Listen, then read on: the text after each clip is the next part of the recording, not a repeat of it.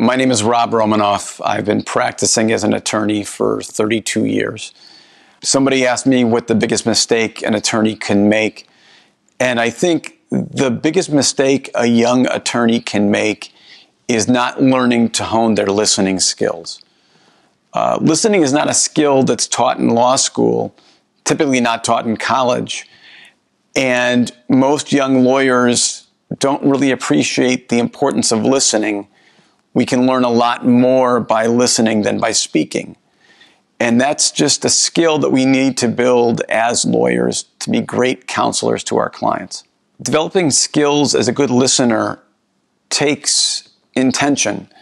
Uh, we're not really taught to do it well, although you can see it modeled sometimes by other attorneys you work with. The benefit of being a great listener is we can learn what our clients are thinking. Uh, we can ask questions to find out what they're really concerned about, which isn't always what they're telling us.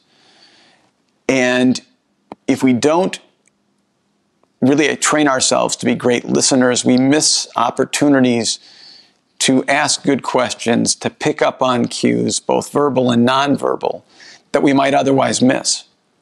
And we're not helping the client if we don't really understand what's going on, both by listening and then by asking really great questions.